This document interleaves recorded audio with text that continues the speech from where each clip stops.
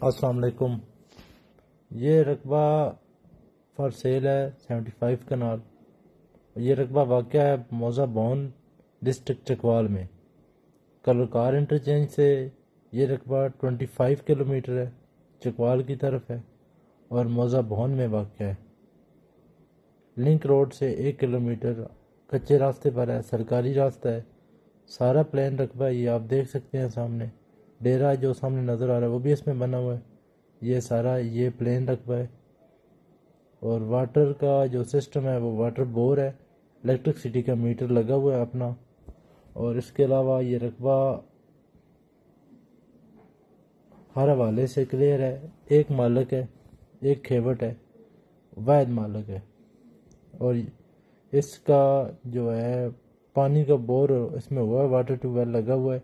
Electricity का अपना metre है, कमरे, दो कमरे का डेरा बना हुआ है, और उसके अलावा इसका जो है, रकबे का रास्ता भी सरकारी है, जैसे मैंने आपको बताया और कलकार इंटरचेंज से 25 किलोमीटर है चकवाल की तरफ़, मौजा बौन।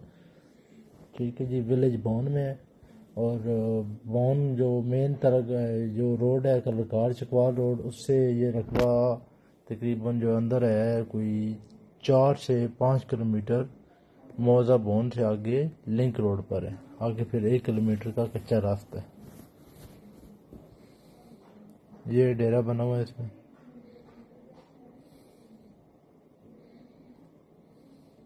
ये वाटर बोर हुआ है जो पाइप आपको नज़र आ रहा है। ये वाला डेरा है इसमें।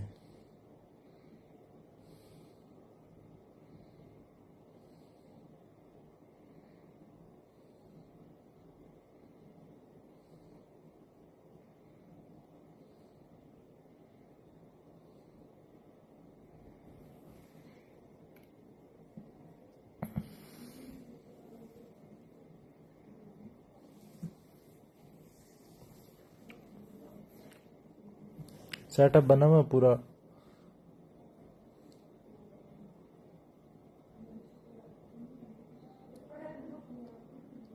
ये मवेशियों के लिए जगह बनी हुई है।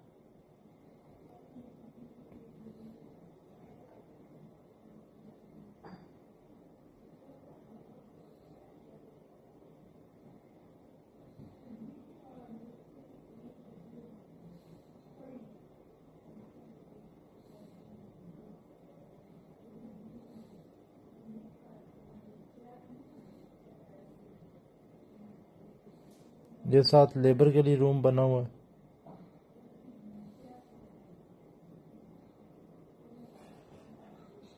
स्टोर और प्लस लेबर का रूम बना हुआ है।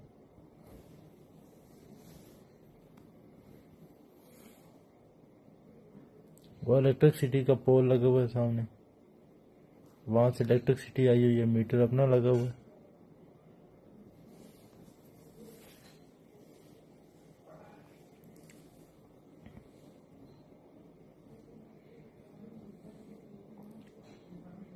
ये मशीन लगी हुई है इसको काटने के लिए, चारा काटने के लिए।